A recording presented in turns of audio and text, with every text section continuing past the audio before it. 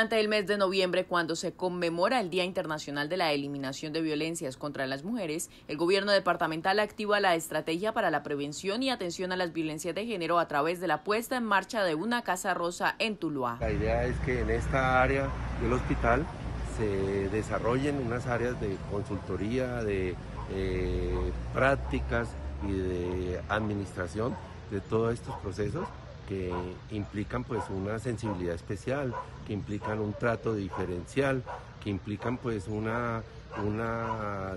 accesibilidad para todas estas mujeres, todas estas personas que como lo digo ya han sido víctimas de estos conflictos. De acuerdo con la Secretaría de Mujer del Valle, estos espacios contarán con toda la infraestructura para activar acciones de forma inmediata que contribuyan al bienestar y a la garantía del derecho de las mujeres y la población LGBTI. Sería la primer Casa Rosa integral para todo el centro del Valle del Cauca. Está bien que tenemos un consultorio rosa en el hospital universitario, lo estamos descentralizando y queremos dar gracias también a esa doctora, a esa gobernadora Dilian Francisca Toro, que fue la que creó ese consultorio rosa y dándole continuidad a esa estrategia, nuestra gobernadora Clara Luz Roldán quiere descentralizar el consultorio rosa y llegar a muchos municipios, pero este sería un centro especial que abarcaría toda esta zona centro del Valle del Cauca porque sería el más grande. Adicionalmente, durante este mes se habilitará también un consultorio rosa en Buga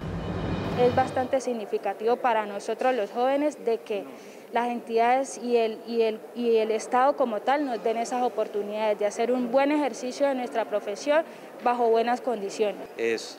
una satisfacción muy grande poder eh, aportar como profesional eh, y pues iniciando mi carrera también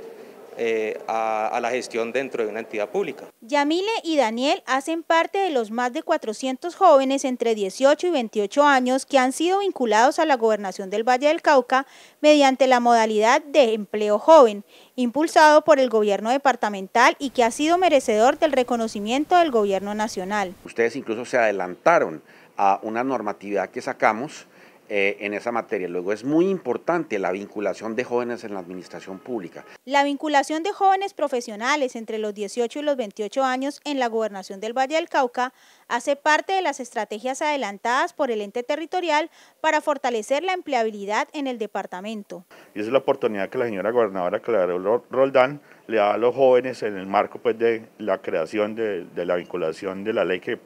permite la vinculación y el apoyo a los jóvenes de 18, 28 años. Actualmente, la gobernación del Valle del Cauca cuenta con 429 jóvenes vinculados, de los cuales 21 son de carrera administrativa grado 1, en correspondencia con la Ley 1780 del 2016, que da prelación a la vinculación de jóvenes que no acrediten experiencia laboral. Los agricultores del Valle del Cauca y de tres departamentos de la zona del Pacífico contarán con herramientas tecnológicas inteligentes que le permitirá saber con exactitud cuáles son los suelos óptimos para el cultivo de sus productos, cómo medir la calidad del aire y contar con información oportuna ante la posibilidad de desastres naturales. Nosotros desde Secretaría TIC y liderado por la doctora Clara Roldán eh, iniciamos un proyecto en una convocatoria que la inscribimos ahora en el mes de agosto al Ministerio de las TIC, un proyecto de ciudades y territorios inteligentes. Será a través de sensores conectados en una red troncal que medirán los suelos y la calidad del aire. Un proyecto que va a beneficiarnos porque los productores campesinos van a tener la posibilidad de poder tener información mucho más precisa de lo que es el control de los suelos, de las tierras, de una, agricultura de precisión, lo que le denominamos ahorita una agricultura inteligente. Se trata de una red regional de IoT,